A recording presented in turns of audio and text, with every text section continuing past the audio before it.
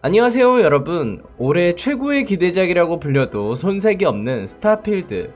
개인적으로도 크게 기대하고 있는 게임이며 출시일이 얼마 남지 않았기 때문에 오늘은 스타필드를 플레이하기 전에 꼭 알아야 할 정보들에 대해서 알아보도록 하겠습니다. 여러분은 우주선에 올라타 우주선 우주 해적들과 전투를 할 수도 미지의 행성을 탐사할 수도 있고 다양한 도시에서 휴식을 취할 수도 있습니다 많은 게임들이 그렇듯 첫 번째 여정은 캐릭터의 생성으로 이루어지죠. 스타필드는 자유도가 높은 게임이다 보니까 캐릭터에 빗대어 몰입할 수 있도록 커스터마이징 하는 게 중요할 텐데 스타필드는 다양한 맞춤 설정 옵션을 제공합니다. 프리셋만 해도 40개가 존재하며 더 깊게 파고들어서 고유한 캐릭터를 세부적으로 조정하며 만들어낼 수 있습니다. 체형, 얼굴 특징, 머리 스타일, 걷기 스타일을 설정할 수 있으며 게다가 이 캐릭터에게 배경을 부여해 줄 수 있으며 선택 가능한 배경은 약 20가지로 각 배경은 스토리가 존재하며 시작 기술이 3개에서 5개까지 포함된다고 합니다. 예를 들어서 요리사가 되어서 최고의 요리를 목표로 삼을 수도 우주 해적이 되어서 우주선 조종 및 전투에 도움이 되는 기술을 얻을 수도 있습니다. 이러한 배경은 게임 플레이뿐만 아니라 일상적인 대화에 영향을 주며 진행할 수 있는 추가적인 퀘스트를 열어줄 수도 있다고 합니다. 특성은 배경 이후 두 번째 단계입니다. 특성은 선택 상황이며 이점과 단점을 가지고 있습니다. 캐릭터 생성 화면에서 최대 3가지 특성을 선택하거나 선택하지 않을 수 있습니다. 특성은 더 많은 피해를 입힐 수 있는 능력과 같은 게임 플레이 장점을 가지고 있을 수 있으며 이외에도 게임 플레이 역할에 맞는 여러 특성을 선택할 수 있습니다. 예를 들어 팬이 따라다니며 어디를 가든지 따라오는 특성이 있을 수 있으며 이러한 팬은 여러분의 크루에 합류할 수도 있습니다. 또는 자신의 부모와 가족을 가지고 시작할 수도 있으며 그 중에서도 재미있는 꿈의 집 특성은 시작과 함께 집을 가지고 시작하되 월세를 내지 않으면 위험에 처할 수 있는 특성입니다. 마지막으로 캐릭터의 leveling 및 스킬 시스템입니다. 스타필드는 전투, 사회, tech 등과 같은 다섯 개의 다른 스킬 트리를 특징으로 하며 각 스킬 트리마다 수십 개의 스킬을 잠금 해제할 수 있습니다. 각 스킬은 보너스를 늘리기 위해 최대 4번까지 올릴 수 있습니다. 레벨이 올라갈 때마다 스킬 포인트를 얻게 되며 이를 사용하여 새로운 스킬을 잠금 해제하거나 기존 스킬을 레벨업 할 수 있습니다.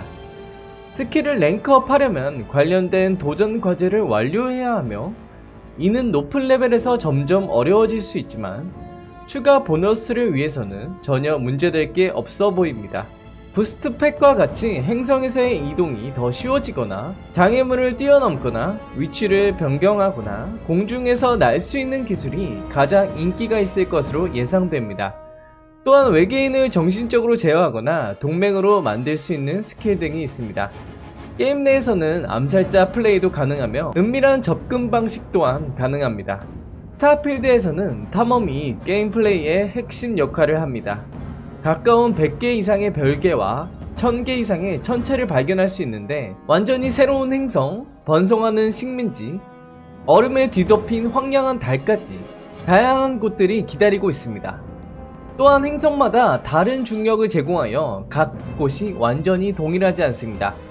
많은 행성은 활기 넘치는 도시, 다양한 인물, 그리고 발견해야 할 이야기가 가득한 곳으로 만들어져 있습니다. 행성을 발견할 때는 도시나 주요 랜드마크 중 하나에 착륙할 수 있으며 이미 장소 중 하나에서 착륙하여 자신만의 모험을 만들 수도 있습니다. 행성은 절차적으로 생성된 환경과 무작위 이벤트, 외계인과의 조우, 적진 거점 등 콘텐츠가 혼합되어 있어 두 플레이어가 동일한 장소를 방문한다 하더라도 다른 이야기를 가질 수 있습니다. 게임에서는 행성의 실제 기후 데이터에서 영감을 얻어 현실적인 환경을 구현했다고 언급했으며 행성에서의 초기 시간은 환경 스캔, 자원 수집 및 새로운 waypoint 발견 등을 포함할 것으로 예상됩니다. 심지어 식민지를 설립하거나 특정한 조우를 찾기 위해 여행할 수도 있습니다. 그리고 초기에 접근 가능한 태양계 중 하나인 알파 센타우리에 대해 말씀드리면 이 태양계에는 유나이티드 콜로니스의 수도인 뉴 아틀란티스가 위치하며 이곳은 게임의 주요 서사와 관련이 있습니다. 뉴 아틀란티스는 바다와 하늘이 어우러지는 놀라운 경치를 자랑하며 거대한 빌딩과 번화한 도시 생활 그리고 이전보다 더 많은 퀘스트를 제공하는데 이곳에서는 여러 이야기가 동시에 진행되며 플레이어는 이에 참여할 수 있습니다. 이곳에서 플레이어는 콘스텔레이션이라는 핵심 faction의 일원으로서 여정을 시작하게 됩니다. 이 다양한 그룹은 인류의 기원과 우주의 미스터리에 대한 답을 찾기 위한 끝없는 탐험을 추구하는데 이로써 이들은 아마도 은하계의 마지막 진정한 탐험가가 될 것입니다. 콘스텔레이션은 또한 중요한 서사적 역할을 하며 여정은 수수께끼로 가득한 고대 유물과 미지의 열쇠로서 여기에 묶여 있습니다. 플레이어는 이들과 상호작용하며 친구를 사귀고 그들을 크루로 모집할 수 있습니다. 그러나 이곳이 유일한 도시는 아닙니다. 마스 또한 탐험 가능하며 시도니아라는 대규모 mining 시설이 있습니다. 플레이어는 콘스텔레이션의 임무 중 하나로 이곳을 방문하게 됩니다. 또 다른 도시인 프리스타 컬렉티브는 다양한 문화가 모여있는 독립적인 연합체로 이곳의 중심에는 아퀼라 시티가 있습니다. 이 도시는 자유와 개성을 모든 것 위에 두는 활기찬 허브이며 각종 욕망과 라이프 스타일을 존중합니다. 이 또한 유일한 도시가 아닙니다. 네온은 처음은 어둡고 좁은 공간이었지만 현재는 프리스타 컬렉티브에서 가장 잘 알려진 유명한 유흥의 도시로 발전한 곳입니다. 밤의 도시로서 생동감 있는 밤문화가 펼쳐지고 있습니다. 다만 어두운 그림자 아래에 숨겨진 위험한 것들도 있을 수 있습니다. 또한 네온은 수상 행성에 위치하며 다양한 욕망과 라이프 스타일을 만족시키는 상업 중심지입니다. starship을 탑승하여 우주를 여행하면서 공중전, 해적 행위, 버려진 우주선 탐색 등 다양한 경험을 할 수 있는 것이 이 게임에서 가장 기대되는 기능입니다. 그 중에서도 grav drive는 우주선에 동력을 공급하여 더 먼 태양계로의 점프를 위한 더 나은 업그레이드를 준비해야 합니다. 시점은 주변 공간을 더 잘 볼 수 있도록 1인칭 및 3인칭 카메라 모드로 전환할 수 있으며 전력 할당 시스템도 흥미로운 메커니즘 중 하나입니다. 여러분은 전력을 엔진, 방패, 무기에 할당하여 상황에 맞게 전략을 구성할 수 있습니다. 게임에서 제공되는 여러 옵션 중 하나인 무기도 매우 깊고 복잡한 customizing 시스템을 통해 업그레이드 할 수 있으며 조준경, 탄창, 다양한 탄환 종류, 소음기 등을 업그레이드하여 개선할 수 있습니다. 이에 더해 crafting 모듈을 사용하여 자신만의 무기를 만들거나 수정할 수 있습니다. 게임에서는 여러 무기 제조사도 소개되며 각각의 무기에는 다양한 능력과 특징이 있습니다. 예를 들어 레이저 시스템을 사용하는 무기는 모든 것에 효과적인데 반해 레이저 시스템이 없는 무기는 다양한 상황에서 한정된 능력을 가질 수 있습니다.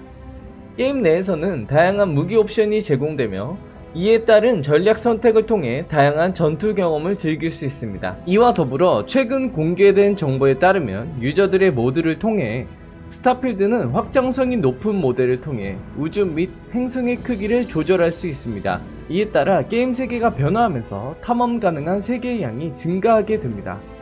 또한 스타필드는 거대한 open world 경험을 제공하는 동시에 다양한 요소와 미션을 통해 플레이어에게 깊이 있는 경험을 선사할 것입니다. 게임의 미션은 메인 시나리오를 따르거나 플레이어의 선택에 따라 나아갈 수 있으며 이에 따라 다양한 결말을 향해 나아가게 됩니다. 최종적으로 스타필드는 다양한 기능, 풍부한 세계, 복잡한 캐릭터 및 흥미로운 스토리를 통해 우주 탐험의 미래를 보여주는 게임입니다. 정식 출시는 9월 6일이지만 프리미엄 에디션 보유자는 5일 더 빠른 9월 1일부터 플레이가 가능합니다.